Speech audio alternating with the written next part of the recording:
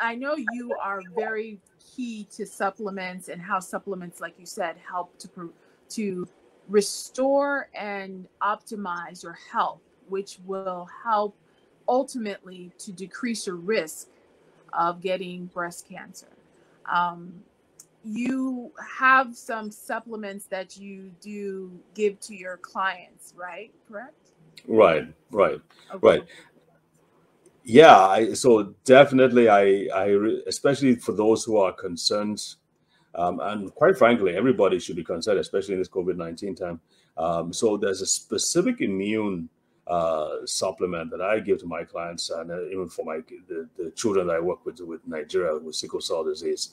Um, it's so it's called Immune. Can you hear me? Yes, it's called. Can you say that again? It's called Immune. It's, I think it's I, coming in and out. Can you say that again? It?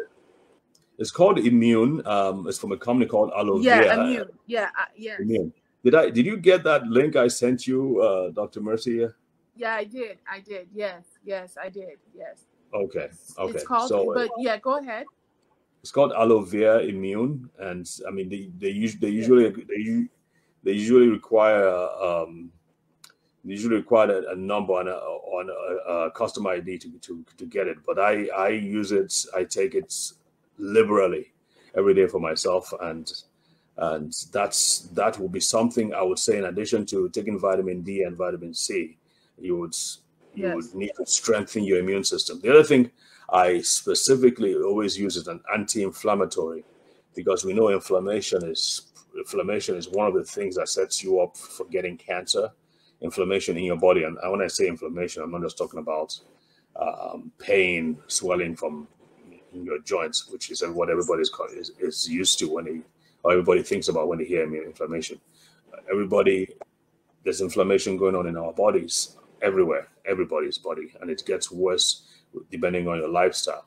So there are supplements that specifically bring down inflammation levels, so to speak. They bring down the heat and the temperature in your body so that it makes you less prone to cancer. The higher your temperature is, your inflammation levels, I'm trying to think about it, uh, uh, uh, uh, an easier way to say it, but everybody has inflammation going on in their bodies, especially with yeah. bad lifestyle habits and all those things.